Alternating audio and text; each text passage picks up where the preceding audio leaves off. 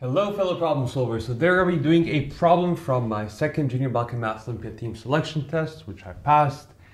And problem number four, I suggest you try this nice combinatorics problem out for a minimum of 20 minutes. Ideally 40 to an hour, not more than two hours, especially if you're preparing for the junior levels or you're just starting out with combinatorics or you don't feel comfortable with combinatorics. This is a nice problem to really try out to hone in those combinatorics skills. So now, without any further ado, let's begin. So we have a 2030 angon, okay, and its vertices have numbers written on them in a way that the sum of any nine consecutive vertices is 300. Okay, so let's first see how are we going to use this fact? And how do we even like translate this problem into something we can deal with, some math? And I invite you here to pause for five minutes, think about that. How do we transfer, translate these words into math? And the answer is, well, we care, it seems, when we read the problem fully, about the numbers at these vertices, right, that are written on them. So let's call these numbers, let the number x1 be the number written on vertex a1, x2, all the way till x2013, the number written on the vertex a2013. And we're looking for x2013. So the sum of any nine is going to be 300. So we're going to have something like x1 plus x2 plus x9 is equal to 300. And then we're also going to have, mind you, because this is an n-gon, so this is circular, we're going to have like x2013 plus x1 plus x2 plus all the way till x8 is also 300. Now, I invite you to pause for the next 5-10 minutes and see if you can use this condition somehow to get something that holds true about these x's. And I hope you paused, and the idea is, well, if I pick xi, xi plus xi plus 1 plus all the way till xi plus 8. This is 9 of them, is 300. And here the i's are going to be modulo 2013. This just means if I have i 2013 here, then this is going to be then x of i, x of x 2014 is going to be x1. All right, that's just like an easier way to denote this because we are using these numbers in a circle. So, and if I then take next i, next 9, then I have xi plus 8 plus x9 is also 300. Now what is the difference between these two? Well, these two are the same, right? And the only difference is we can subtract, or we can say this is equal to 300 is equal to this, and then we're left with, we cancel these out, and we're left with xi is equal to xi plus 9. And this is true for every single i. So now here, pause for another 20 minutes and try to push the problem further. And here's the next step. So xi is equal to xi plus 9. Okay, so then we're going to have x1 is will equal to x10 will equal to x19 will equal to what? What happens when you get to around 2013? Well, all of these numbers have a remainder 1 when divisible by 9. So here we have the number x of 2007 is divisible by 9, so x 2008. And now what is x 2008 equal to by this. So x 2008 plus 9 is going to give us what? x 2000. 9, 10, 11, 12, 13. And that's not 4. It's 1, 2, 3, 4. So it's x4. And then this is equal to x4 plus 9 is equal to x13, x22 is equal to, what will we have here? Well, we will have this plus 3, so 20, 2008 plus 3 is 2011, or 2011. And now what happens when we add a 9 again?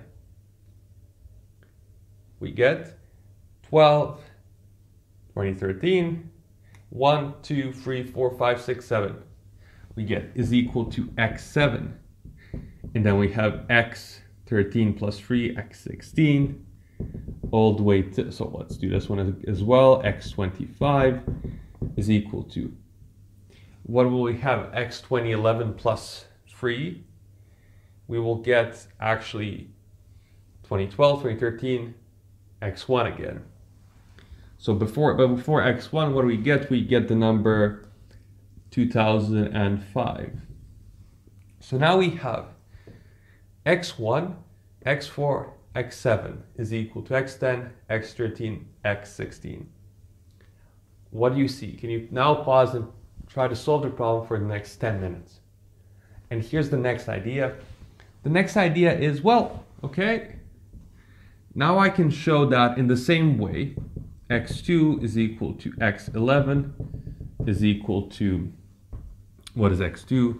That is 2000, x 2009 is equal to x5 is equal to x14 is equal to x uh, 2012, right? Yeah, 2012 is equal to x8 is equal to x17 so it's x 2015 minus 9 is x 2006 is equal to x2 and now we have all the n which are 2 mod 3 are the same. All the n which are 1 mod 3 are the same. Actually all xn such that n is 1 modulo 3 is the same are the same. All the n which are 2 modulo 3 their xn are the same. And the same way all the n which are 0 modulo 3 are also going to be the same. 2003 so we have what is this going to be? 2008 9 2010 is equal to x6 is x15 is x 2013 which is what we need.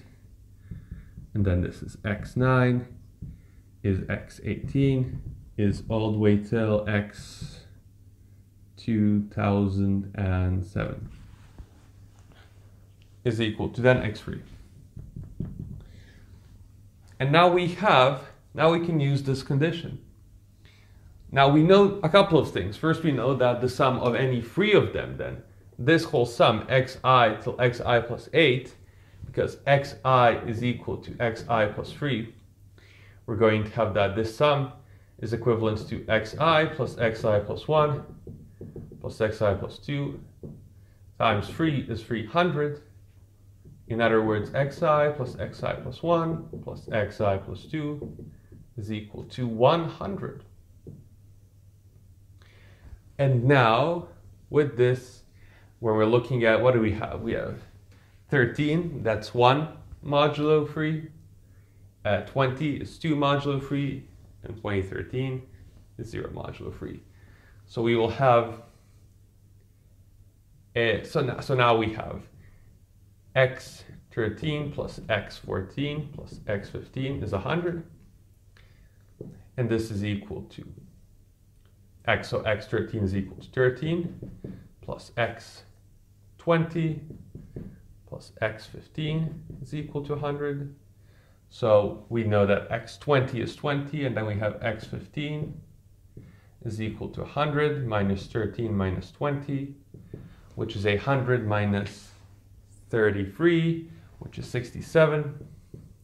So x15 is 67, and this is equal to x2013. And so x2013 is equal to 67. And this is a somewhat common idea in combinatorics, like that you'll see in problems. You have this condition, you know, shift by one. See what happens when you just shift by one, and then, okay, how can I use this condition? I have these two things are equal, bam, and then I have these two things are equal. Looking at these like small differences when you shift by one, they can help you solve problems. And this finishes up the JBMO team selection test from this year. At the actual contest, so in, in this competition, I was first, but at the actual contest, I was not the best in my team. And the reason why is because of pressure, right? Is because I put a lot of pressure on myself to perform well, to get gold, get gold, get gold, get gold, and ultimately didn't enjoy the wonderful JBMO at Turkey as much as I could have.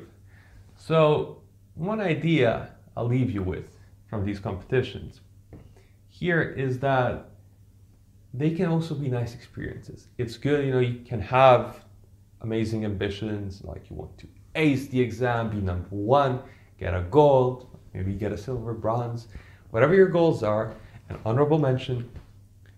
But it's also an opportunity to enjoy yourself and find gratitude that you're able to work on yourself and do these problems, which are actually kind of fun.